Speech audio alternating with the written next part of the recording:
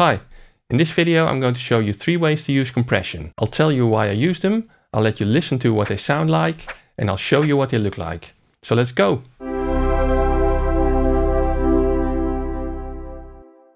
Now when it comes to using compression in a mix, there's of course many many ways in which you can do this. And how you choose to use compression really depends on the sounds that you're trying to influence, the music, the song, and many many other things.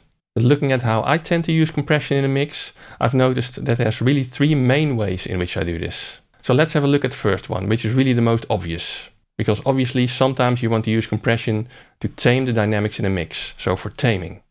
Now in this particular example project I have a bass track to let you listen to, and which I will tame with compression.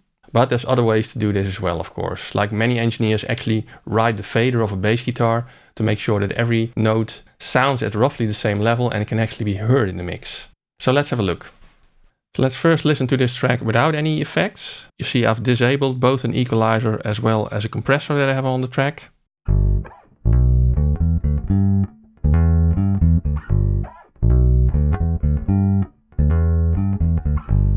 Now some of you may actually recognize this track from another video which I did on comparing a real bass, this one, against some VST uh, bass instruments. And I will link that video in the description.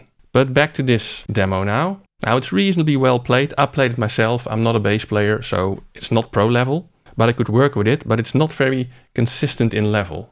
Even if you look at the waveforms, you can see that some bass notes tend to be a bit louder than others.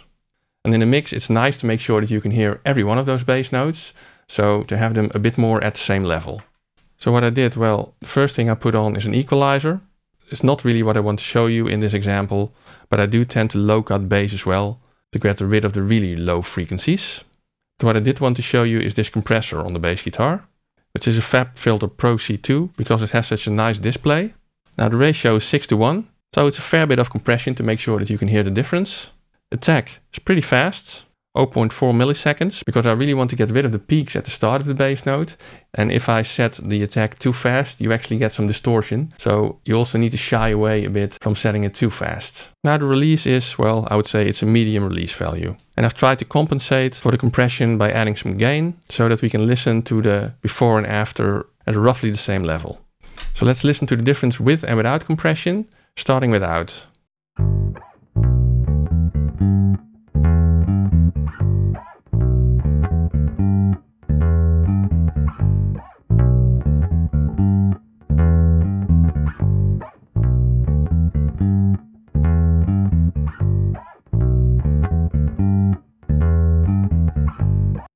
Now, if YouTube allows you, you should be able to hear that this makes the bass much more consistent and you could even see in the waveform display that the bass is much more consistent so that at least you don't lose some of the notes in the mix. If we zoom in on the compression display of Pro C2 and if you look at this, the red line going down is the amount of compression the compressor does at a certain point in time. The light gray line is the original signal and the white line is the signal after compression. So what you're seeing over here, for example, is that the peak is tamed and this bass note in general stays more at the same level. And the same for the last bass note in this lick. And at the same time, you're also seeing that the bass note over here with a slightly lower level actually gets raised in volume to make it more equal to the rest of the bass notes. So that's how I use a compressor to tame dynamics in a mix. And I'm showing you this now with Pro C2 because it has such a nice display, but you can really use any reasonably fast compressor for this. Like for example an 1176 or an 1178 as well.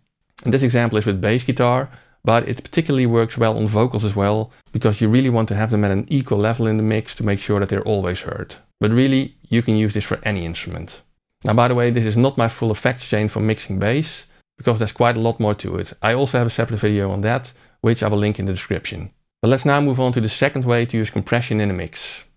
Another way that I typically use compression in a mix is for shaping. And this is the easiest to demonstrate on a percussive sound, so let's have a look at this snare track. Now let's first listen to this without any compression.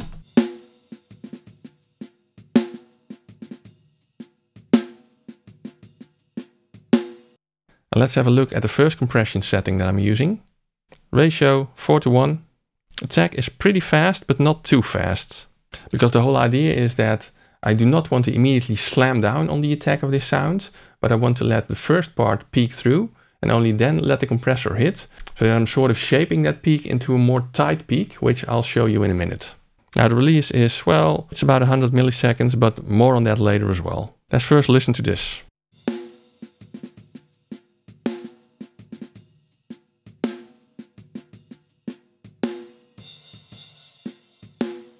So what you notice over here, if we look at the zoomed in image of this, you can see that compression only happens during the first part of the snare peak really. And again, the original signal is the light gray, so the initial snare transient was a bit longer. And the initial peak is let through by the compressor because I set the attack not too fast. But then immediately after the initial peak has gone through, you can see that the compressed signal is going down. The white line where the original signal was staying high a bit longer, the light gray line next to it. So you're shaping the peak of the snare in this case, which gives it some extra snap compared to the original snare.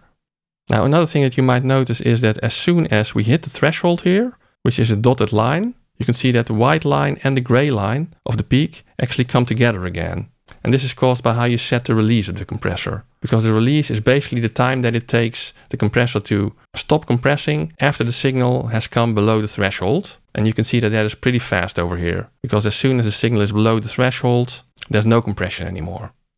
So let's have a look at the second compressor that I've set up over here, which has exactly the same settings, except the release is about three times as long, 300 milliseconds instead of 100 milliseconds. And I don't know if you will be able to hear the difference.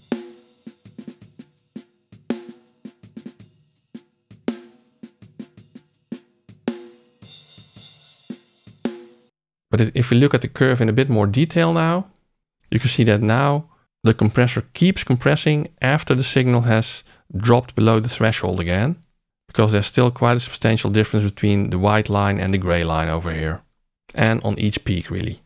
So you can use attack and release of a compressor to really shape transients.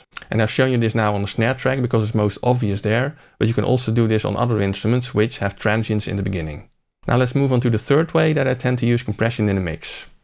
Now the third way is not even so much about compression, but it's more about the fact that some compressors provide a color to the sound. And this happens most prominently with analog hardware or plugins that emulate analog hardware. But I have some pieces of hardware here in my studio that if I run audio through it, it just sounds better. Even if all the dials and all the knobs are set to not compress at all or not EQ at all, it just sounds better going through that old equipment. And you can get a very similar thing with analog emulations of compressors.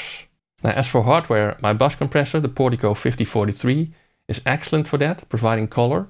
I use it on every mix at a very low and modest compression ratio of 2 to 1, but it just provides a certain sound to the mix which I like a lot. Another excellent example in plugins is the MJUC compressor from Klanghelm. I use it on vocals on every mix and it really makes the vocals shine. But in this particular example, I have a stereo drum track on which I've put a UAD Fairchild compressor and it's even the legacy version. And it has a preset called drum color, which well according to the meters here it hardly does any compression, but it definitely does something to the sound to my ears. So let's have a listen, starting with the Fairchild off.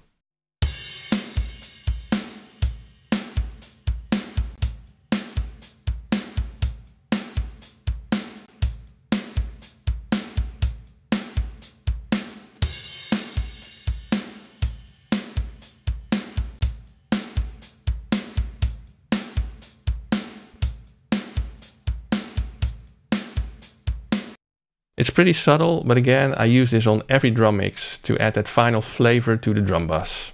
And I believe that the reason that this sounds so nice is revealed when you look at this plugin in Plugin Doctor. So this is the harmonic analysis in Plugin Doctor. And Plugin Doctor sends a 1 kHz test tone through the plugin. And you can see that several mostly odd harmonics are added here. Yeah, it just sounds more snappy to me, probably a little because of the compression and a little because of the extra saturation that is introduced.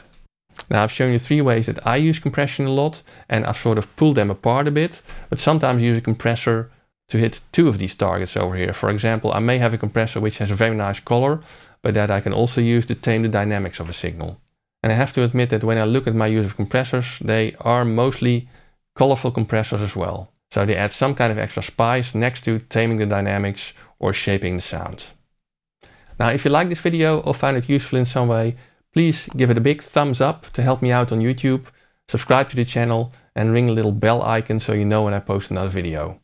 Another way that you can support the channel is by buying something with the affiliate links in the description. If you click on one of those links and then buy anything at that store, I will get a small commission without any extra cost to you. And another way to support the channel is by watching the next video, which is about separating kick and bass by using compression. So have a look at that, enjoy and see you soon.